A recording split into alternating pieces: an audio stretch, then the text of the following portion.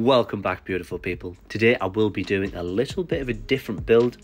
I'll actually be adding the drainage layer in as usual, but I won't be adding in the mesh membrane between them. I am going to be experimenting the difference between them, seeing if it makes a substantial difference because I have got terrariums running where all of them have the mesh membrane in. So I am wanting to see if it really does matter that much.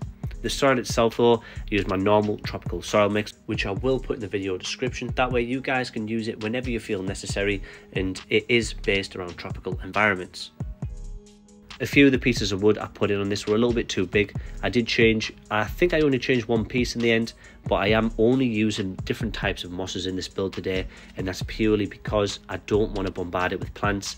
I don't think any of the plants that I have wouldn't completely outgrow this straight away, so I am just going to relax with it a little bit, not overcrowd it for now, and just keep mosses. The mosses will grow, and either way, you know, those will actually pad it out just enough for me to physically enjoy the growth and development of a terrarium of this size. The vision was like an embankment in a forest where you've got a couple of dead trees or dead logs that have fallen down, and you've got that pathway um, or footwalk that's going through the actual forest itself. I'll be keeping springtails and isopods in the setup. They will be the cleanup crew. I'll just be using standard Porcellios inside here because I'm not going to use any of the fancy ones as again I am experimenting so I don't want to risk any of the fancy stuff dying. I ended up changing my mind with the design though halfway through, but it still looks like a forest to me or that type of environment. Also let me know what you'd rather me do on these types of videos. Would you rather me explain everything that I'm doing in much more detail, just so you know what I'm doing and why I'm doing it or where I'm placing certain plants? Or would you rather me just show you the builds and sort of let you know like today roughly what I'm doing and why?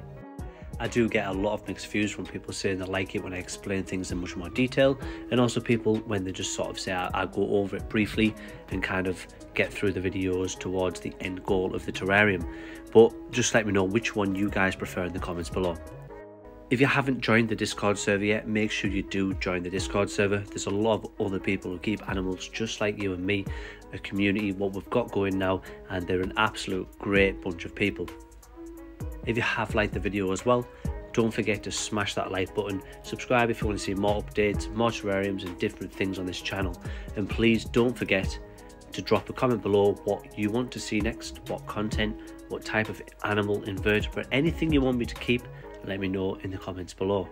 The final thing I want to say is all I do is use a cling film lid. I do have a lid that comes with it, a wooden one, which is really nice, but cling film always works best for me because more like it's inside the terrarium. But as always from me guys, peace and love, I'm out.